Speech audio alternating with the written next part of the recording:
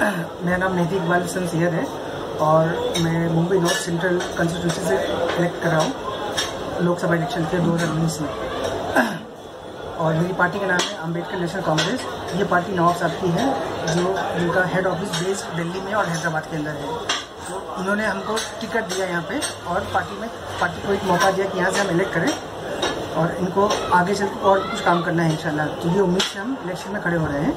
और इसके अलावा हमने जो पहले काम किए, हमने मुद्दे, कई सारे मुद्दों पर हमने काम किए, जिसमें से अगर आप खसूसी तौर पर देखेंगे तो जिसमें से एक मुद्दा है हॉस्पिटल्स का। हॉस्पिटल्स के अंदर चैरिटेबल स्कीम्स होती हैं, जैसे फोर वन ए करके सेक्शन एक स्कीम है, जिनको लागू किया है चैरिटी कमीशन के चैरिटी कमीशन ने।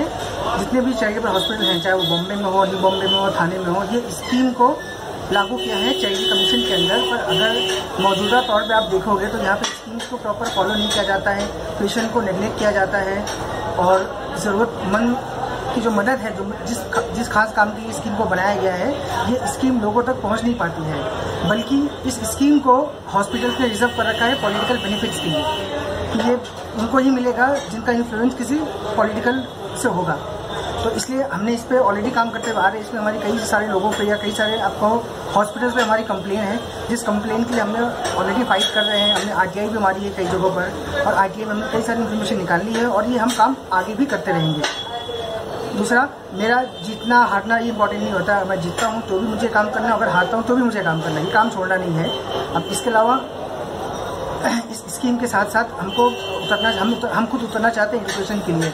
कि आप अगर देखोगे कि बॉम्बे के अंदर भी ऐसे कई सारे एक, बहुत सारे एक तबका है जो स्कूल में जाते नहीं हैं। तबकी इसके अलावा आप अगर देखोगे कि स्कूल्स में म्यूनसिपलिटी स्कूल्स के अंदर गवर्नमेंट जो फंड अलॉट करती है बच्चों के लिए, वो कम नहीं, बहुत ज़्यादा होता है। पर फिर भी स्कूल्स में बच्चे जा नहीं पाते तो उसका रीज़न क्या है? उसके कई सारे रीज़न है।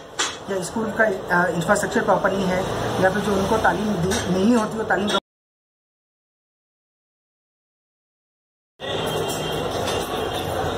फ्यूचर में अगर हम जीत के आ जाते हैं और जीत के नहीं आते तो भी हमारा मकसद एकदम साफ़ है लोगों की सेवा करना है और जिन मुद्दों को हमने उठाया है इस इलेक्शन में उन मुद्दों को हमको आगे तक लेके जाना है। बीच में छोड़ देना ये ये किसी मसले का हल नहीं है मेरे हिसाब से।